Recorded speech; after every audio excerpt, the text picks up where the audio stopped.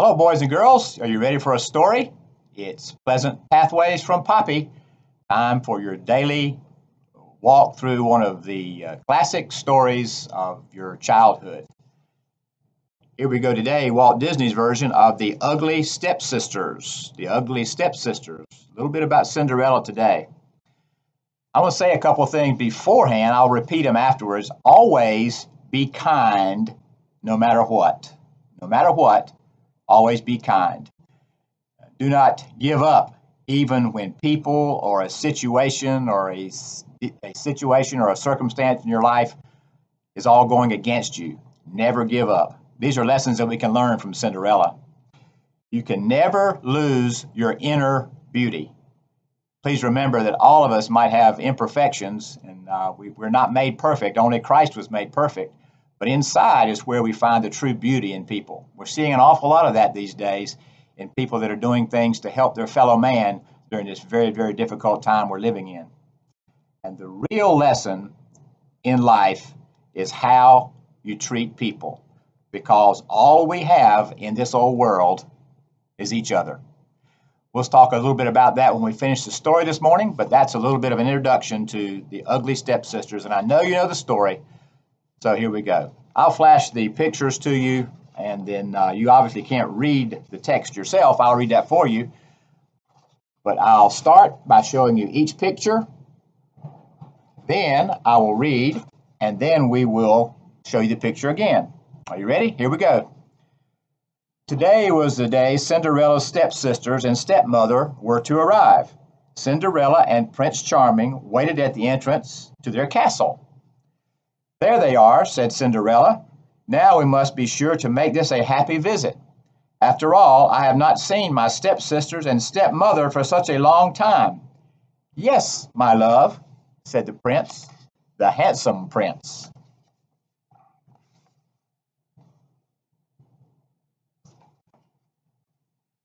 Stepmother, Drizella and Anastasia, I am so happy to see you, said Cinderella. My Cinderella, how pretty you look, said the stepmother. Would you send our clothes up right away? The girls must have their beauty rest. We've had a busy day. Yes, stepmother. Whatever you say, said Cinderella. Oh boy, look at all those boxes. It looks as if they're going to stay a long time, Jack said to Gus. Then they hurried after Cinderella to see if they could help. Look at all those packages, boxes.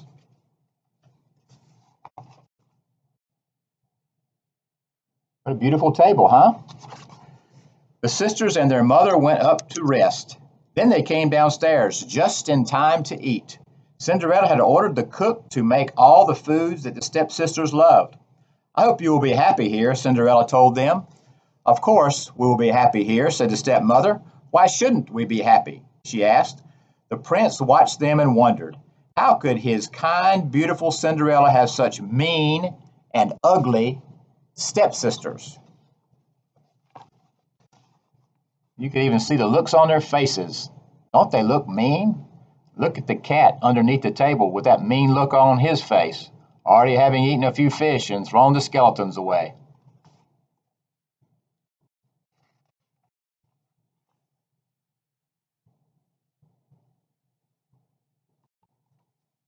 After supper, the sisters and their mother went to their rooms. Who does Cinderella think she is? She sure was showing off for us, sneered Anastasia. Yes, and I don't think the prince looked very happy. Do you, mother? asked Drizella. Don't fuss so over Cinderella, my girls. You are both more beautiful than she is, said their mother. I just know the prince was wishing he had married one of you.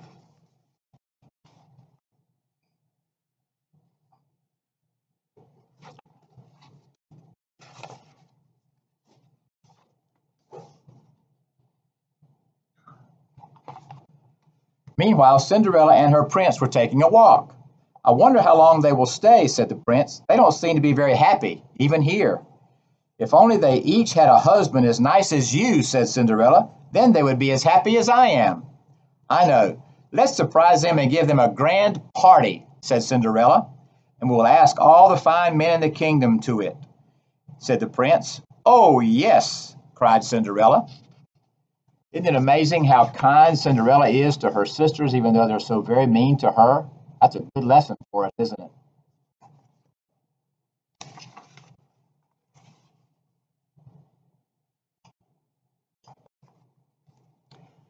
The next morning, Cinderella called her servants together. She told them about the party. It is a surprise, she whispered. Be sure not to let my stepsisters know. We'll say it's a party for some very important people. But the stepsisters had been hiding at the bottom of the stairs. They heard the word party. What is all this about a party? They wondered. They heard Cinderella say it was a party for important people. The sisters ran to tell their mother. See the sisters on the chairs there listening while the plans for the party are being made. Little did they know the party was for them, huh?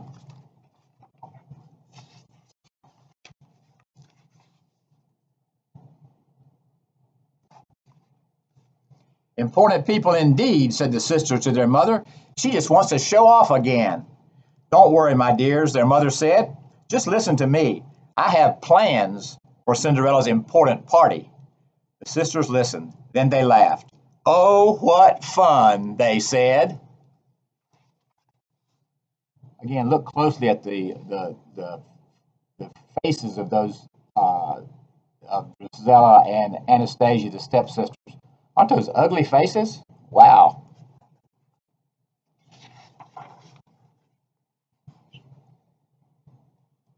That's some pretty faces for a change, huh? In the library sat the prince and Cinderella. The prince called out the name of every single man in the kingdom. For each name, Cinderella wrote an invitation. A servant carried all the invitations into the hall.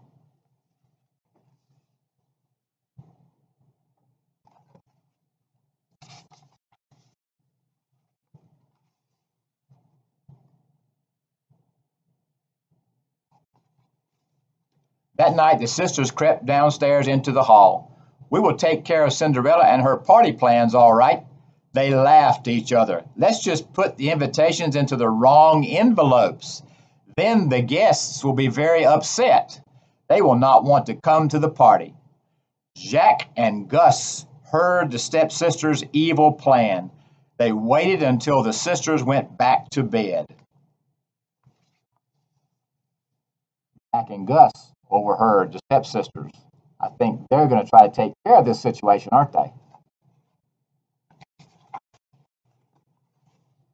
There Jack and Gus at work with those envelopes and invitations. We don't have a minute to waste, cried Gus. We must put the invitations in order, or Cinderella's party will be ruined, said Jack. Gus and Jack worked all night. At last, the invitations were in order.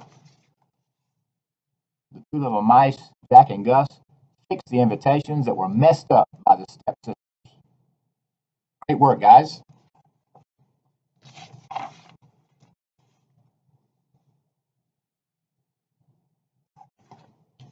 The next night, the stepsisters crept down to the kitchen. A little salt in the sugar, said Anastasia, and a bit of soap in the flour, said Drizella, will make a lovely cake, sisters laughed at each other. Then they ran to tell their mother what they had done. Again, they did not see Jack and Gus.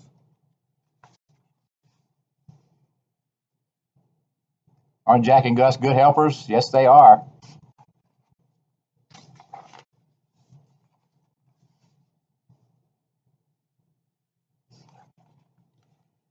The food for the party will be ruined, cried Gus. There's only one thing to do, said Jack. We will have to pour out all the sugar and flour. Then the cook will have to buy more. Jack and Gus went to work. The next morning, the cook was in for a big surprise. There was sugar and flour everywhere. She hurried to the store to get some more in time to bake the cake for Cinderella's party. Again, nice work, Jack and Gus. Foiling the plans of the ugly stepsister, aren't they?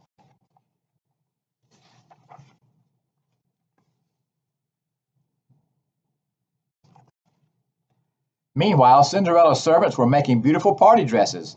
The dresses were to be part of the stepsisters' surprise, but the sisters found out about the dresses. They thought the dresses were for Cinderella. The stepsisters marched right into the sewing room. These dresses are not good enough for Cinderella, they sneered. Those ugly ribbons will have to come off. And with that, the sisters ripped up the dresses. Then they left the room. Now Cinderella won't have a single new dress to wear to her party. They laughed. They're mean tricks again, aren't they? I wonder how Jack and Gus are going to help in this situation.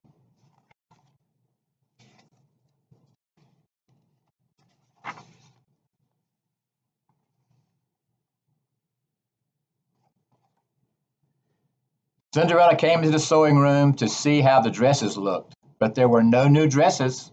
There were just tatters and rags. Her servants were crying. They told her what had happened. Oh, dear, said Cinderella. I'm sure my stepsister just wanted to help. Don't worry. I will help you finish the dresses in time. How kind she is, whispered the servants. And how wicked those jealous stepsisters are. Great to have helpers. The kinder you are, the more people want to help you. Did you know that?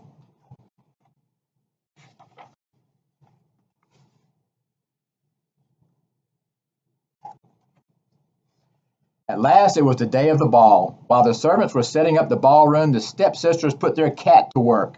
He ran through the ballroom and onto the table. Plates and silverware flew through the air. Get that cat, a servant shouted. Servants chased the cat all around the castle. What a mess. Cat seems to be having a great deal of fun messing up the ballroom, doesn't he? Oh my goodness.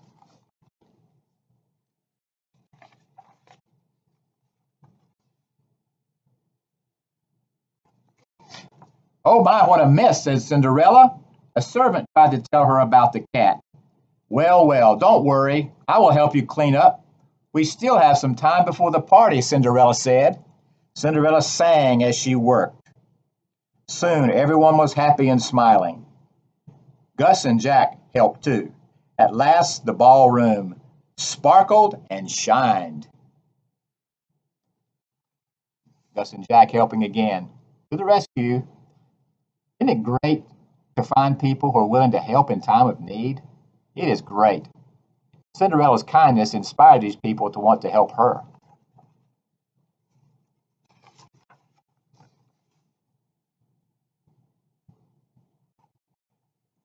Meanwhile, the stepsisters were getting ready for the party.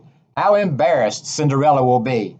The guests will laugh at her when they see how her sisters dress for the parties. They said, this will teach Cinderella to show off for my girls, said the ugly stepmother.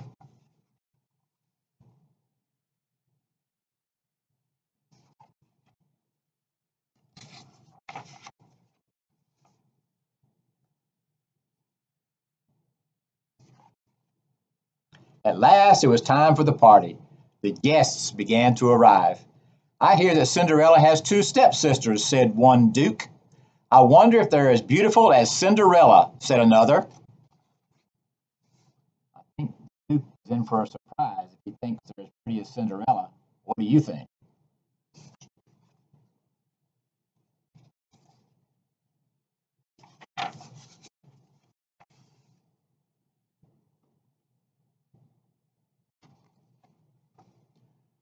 Soon the hall was full of guests. The dukes and earls waited for Cinderella's stepsisters to come down. The stepsisters and their mother walked to the top of the stairs. Ah! Oh no! The guests gasped. They cried out in horror because the stepsisters were so ugly. All at once, the men, young and old, ran for the door. They hurried to get away. Look at the expressions here on the faces of these men stepmother and stepsisters are so ugly they can't wait to get away from there. Their, their eyes are bugged out of their heads and they're running to get out of that place. Wow.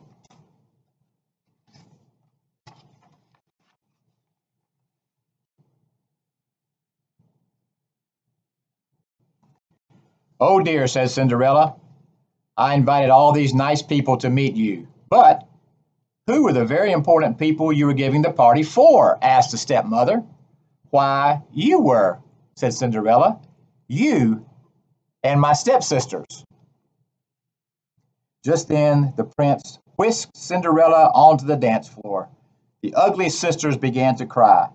It serves them right. They are so mean and jealous, said Jack to Gus, and they laughed as they danced the night away. Isn't that a great story? The stepmother and stepsisters worked very hard to spoil the party.